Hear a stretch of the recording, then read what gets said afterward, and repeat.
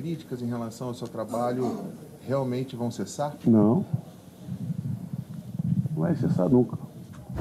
E não cessa principalmente quando ela é pessoal, né? Mas a gente tem que conviver com isso. Ninguém é obrigado a gostar de mim ou gostar do meu trabalho. Eu gosto do meu trabalho, porque eu gosto de onde eu estou. É, porque eu sou feliz onde eu estou. Muito feliz. O ambiente. Amigo, ele é, ele é muito grande. E esse tamanho, ele me causa uma, uma certa ebulição, mesmo nos bons momentos. Né? Porque, ó, estava em primeiro da Libertadores e tomando palmas. É assim, cara, não vai mudar nada, nada, nada, nada. Mas eu não. Eu também não mudo. Porque eh, tem um grupo de jogadores fantástico, isso me dá prazer. E isso me faz feliz. Né? Por isso tem aquele negócio que você sabe que eu não gosto de ficar pegando a equipe no meio, aquela coisa toda. Dá licença um pouquinho moçada. Dá licença um pouquinho. Ô, meu camarada, como é que você está? Obrigado. Obrigado, acaba de chegar aqui. Mexeu bem pra caramba. Obrigado. Cumprimentar o Abel. É, esse, é, esse é irmão, ele, esse aí entende muito bem o que eu estou falando. Né? Ele entende muito bem. É, conviver. Só que eles me fazem feliz. Porque o dia que eu não estiver feliz, eu não me fico em lugar nenhum. Porque todos os meus contratos, eles nunca existe multa. Né? O, o clube está sempre com muita cavaleira e eu também. Para a gente chegar e romper o trato. Mas não é o caso. Tendo muito apoio da direção. Um apoio irrestrito dos jogadores. Entrei no campo fazendo um negócio que há muitos anos eu não faço. Depois do jogo para dar um abraço no Arão. Eu insisto tanto com essa jogada da entrada dele. Não nas bolas paradas, mas a bola em movimento. E hoje só o gol. E fiquei muito feliz porque é, uma da- das maiores críticas que eu tenho é porque eu coloco o Arão. E eu não vou tirar Arão do time. O dia que quiser substituir, eu substituo. Mas tirar do time, eu não tiro. Porque ele é o que dá na minha equipe. Tudo bem, Abel? Boa noite. Eu queria te ouvir, por favor, sobre as suas escolhas no time titular. É, o Arrascaeta fez alguns jogos no ano passado, jogando mais pelo lado do campo. Você tem apostado nele um pouco mais centralizado e aparentemente as melhores jogadas foram criadas com o Diego em campo. Queria te ouvir o que é que você entende que o Arrascaeta dá que o Diego hoje não oferece. É aquele negócio, cara. Você sabe que eu já usei o, o- o Gabriel pelo lado direito. Eu gostei. Eu usei o Bruno como atacante, eu gostei. E o Arrascaeta pelo lado esquerdo. Aí estava o Everton por dentro. Se você quer botar o máximo de qualidade possível dentro da equipe, você só pode botar um do lado esquerdo. Né? Alguém tem que vir para dentro. Eu concordo em número e grau, grau contigo. É, O, o- o Diego não é esse jogo, não. Foi contra o Penarol, ele entrou como falso atacante, falso 9, porque tinha um jogador a menos. O Penarol foi muito bem. Outros jogos tem jogado muito bem, jogou muito bem contra o Chapecoense. E estava pedindo passagem. Eu, camarada, estou dando a chance.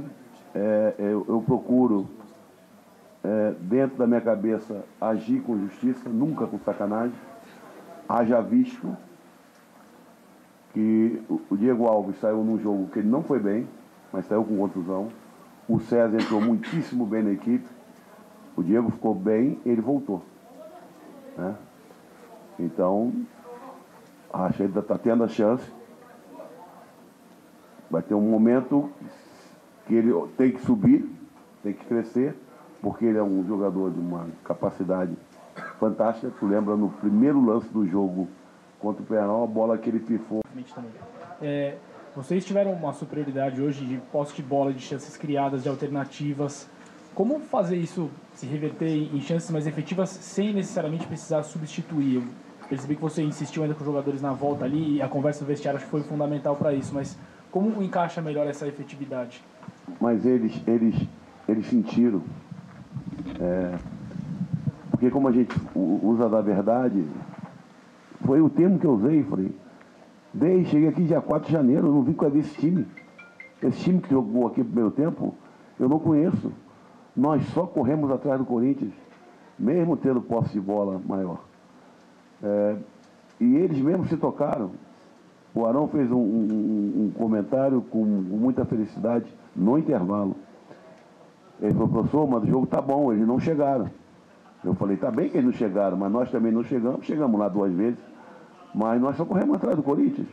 Peraí, cara, isso aqui é Flamengo, né? nós temos que jogar, jogar mais. Aí, você sabe, você viu que Everton Ribeiro subiu de, de- de produção, o Bruno subiu de produção, o Arrascaeta subiu de produção, começamos a jogar mais com os laterais, e a equipe como um todo cresceu. né? Só isso, não, não, não teve estratégia, não teve tática, não teve nada.